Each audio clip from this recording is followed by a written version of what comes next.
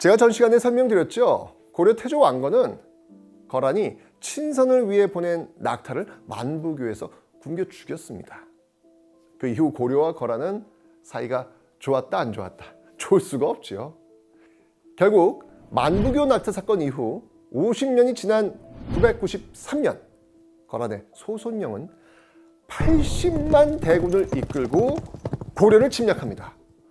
야, 이 80만 대군 이거 어마어마한 숫자죠. 자, 침략 이유가 뭐였을까요? 한번 들어볼까요? 근데 들으시면 굉장히 어이가 없습니다. 이유가 뭐냐면 이런 겁니다. 고려가 거란 변경을 침탈했다. 고려는 아직 거란에 귀부하지 않았다. 고려가 백성들을 잘 돌보지 않는다. 이런 이유들입니다. 뭐야 이거? 아니 고려가 백성을 잘 돌보지 않는다고 침략 이 침략이 명분이 있어 보입니까? 이거 억지 느낌이 들죠. 자 그런데 여러분들 그건 아셔야 합니다. 국제 관계에서 명분은 무엇으로 만드는지 아십니까? 명분, 침략의 명분. 슬프게도 힘, 힘이 만드는 겁니다. 힘이 세면요, 명분은 얼마든 만들 수 있습니다. 뭐 거의 조폭 논리입니다. 굉장히 슬프죠. 자, 어쩌면 이런 말도 안 되는 억지 논리를 들이밀면서 거란은 쳐들어온 겁니다. 파죽지세로 이렇게 내려오고 있는 이 거란군에 맞선 고려 조정 어땠을까요? 뭐 난리가 났겠죠. 자 이러면서 치열한 논의가 아, 이어지게 됩니다. 여기서 당시 고려 왕인 성종과 신하들이 의견을 모은 건 뭐였냐면요. 할지론이었습니다. 할지론. 어렵죠? 자, 할지론 제가 이거 풀어드릴게요. 할지론의 뜻은 뭐냐면요. 땅을 떼어낸다. 아, 즉 거란이 침략한 이유 중 하나인 옛 고구려 영토를 거란에게 떼어서 돌려주자는 겁니다. 와, 정말 이런 정치인들 무책임하지 않습니까? 야, 참 이때도 이런 논의를 했네요. 자, 여기가 어디냐면 바로 서경 이북 지역입니다. 대략 이런 서경 이북 지역을 떼어 줍시다 라는 할지론으로 분위기가 모아지고 있을 때 있습니다. 있다고요. 라고 하면서 반론을 들고 나온 사람이 있었습니다. 그가 누군지 아십니까? 바로 서희였습니다. 서희. 그가 누구냐? 우리 역사상 최초로 시행된 고려 광종의 제2회 과거 시험에서 합격했던 인물입니다. 서희의 이유 있습니다. 그 반론 이유는 무엇일까요? 그 반론 이유는 바로 부끄러움이었습니다.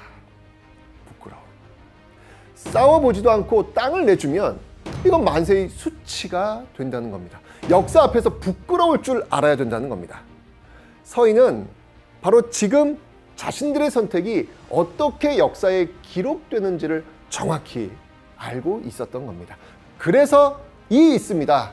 라고 나온 겁니다. 이런 할지론으로 역사에 기록될까 이건 대망신이라는 겁니다. 그러면서 본인이 직접 적, 거란 침략군을 만나러 가겠다고 합니다. Wow. 말만 앞서는 분이 아니라 실천으로 또 옮겼던 그런 분이 바로 서희입니다. 자, 이러면서 세기의 외교 담판이 벌어지게 됩니다. 자, 거란 장수 소손영 앞에 등장한 고려의 서희. 자, 이 당시 회담장 분위기 어땠을 것 같습니까? 음, 80만 대군을 이끌고 온 소손영. 네. 대놓고 서희 하대합니다. 거란 장수 소손영이요. 서희를 보고 먼저 절부터 하라. 명을 내리는 거예요. 자, 이 엄청난 군대들에 둘러싸여 있는 이 서희, 그 앞에 소손영이 절부터 하라. 라고 해서 여러분이라면 어떻게 하시겠습니까? 아, 이 강대국 침략군 총사령관 앞에 선 우리. 아, 저라면 이게 쫄지 않았을까요? 어, 분위기가 영. 그런데요, 우리의 서희 다릅니다. 서희는요, 그 명을 딱 받자마자 기선제압 들어갑니다. 이렇게 말이죠. 누가 누구에게 무릎을 꿇는단 말이냐? 그냥 그대의 신하가 아니다.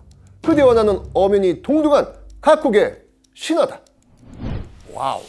그리고 어떻게 했을까요? 그냥 돌아갑니다. 관사로 돌아와서 그냥 드러누워요. 기선제압을 배째라 정신으로 나온 겁니다. 와, 이 강단 어디서 나온 겁니까, 이거? 대단하죠? 어, 그러니까 소선영이 당황하는 거예요. 어, 뭐야, 이거. 그냥 조그만한 나라 나와가지고 그냥 타이르듯이 그냥 한번, 어잉! 엄포 한번 줬는데, 그럼 말 잘 들을 줄 알았는데, 엥? 돌아가더니 그냥 들어놓네? 결국 인사를 나누자면서 소선영이 한 걸음 양보합니다.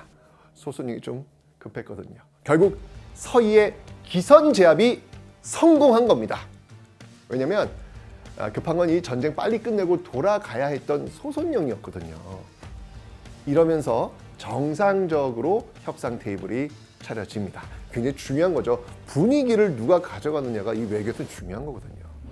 자, 이때 이 소선영이 퉁명스럽게 이렇게 말합니다. 고려, 고려는 신라 후손 아니오. 그러니 고구려 땅에서 물러가시오.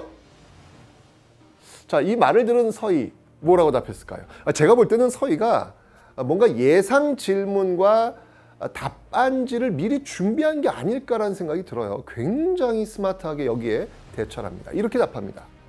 무슨 소리요? 우리나라가 곧 고구려의 땅이요. 나라 이름 뭐요?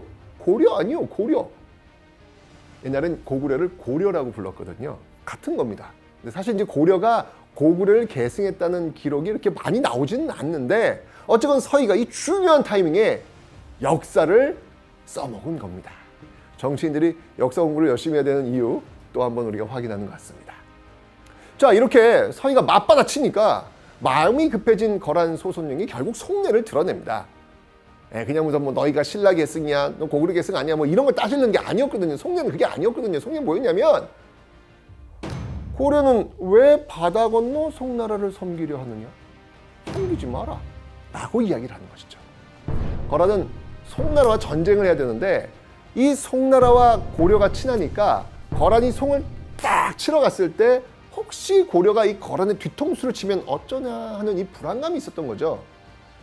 이렇게 속내를 드러낸 소선영에게 서희는 다시 답합니다. 내가 보기에 이거 준비 다 해왔어 이거. 대단하신 분이야 이분. 뭐라고 얘기하냐면 아, 그 고려와 거란 사이에 여진이 있는데 아, 이들의 방해 때문에 너희 거란과 지금 국교를 맺지 못하는 거다. 그러니 여진을 몰아내고 국경을 바로 맞대고 뭐 있으면 이 국교가 되지 않겠는가? 라고 맞받아칩니다. 자, 소선영의 목적은요. 거란의 그 배후를 안정시키는 거 아니겠습니까? 근데 서희가 여진을 좀 해결해 주면 국경을 맞닿아서 뭐 국교를 맺을 수 있지 않겠느냐라고 이야기를 하니 나쁘지 않은 조건 아니겠습니까? 이러면서 소선영 오케이! 결국 소선영은요 여진이 점유하고 있었던 강동 육주를 고려에게 가져가라고 줍니다. 고려 입장에서 보면 송과의 의리를 지키는 명분은 이렇지만 실리는 확실하게 챙긴 겁니다. 거란 소선영은요 서희를 위해 잔치를 베풀고 선물도 막 가득 안겨주죠. 협상의 달인 서희가 탄생하는 순간이었습니다. 아, 이를 기리기 위해서 아, 지금 국립외교원 건물 앞에는요 서희 동상이 세워져 있습니다. 여기서 그치지 않아요. 아, 이후 서희는 무엇을 했냐고요? 바로 그 강동 육주, 그 강동 육주에 고려인들을 이주시켜 가지고 성을 쌓습니다. 바로 이 서희가 쌓은 강동 육주의 성들, 이 성들 덕분에 고려는 이후 고려거란 2차 전쟁을 준비할 수 있게 됩니다. 자, 이렇게 해서 고려거란 1차 전쟁이 서희의 외교 단판으로 마무리가 되었습니다. 강동 육주를 외교술로 확보하면서 말이죠. 자, 그러나 여기서 끝이 아니었습니다. 고려거란 2차 전쟁이 벌어질 거거든요. 이 2차 전쟁은 과연 어떤 모습으로 전개될까요? 또 고려거란 2차 전쟁에선 어떤 영웅이 또 탄생할까요? 고려거란 2차 전쟁 기대하십시오.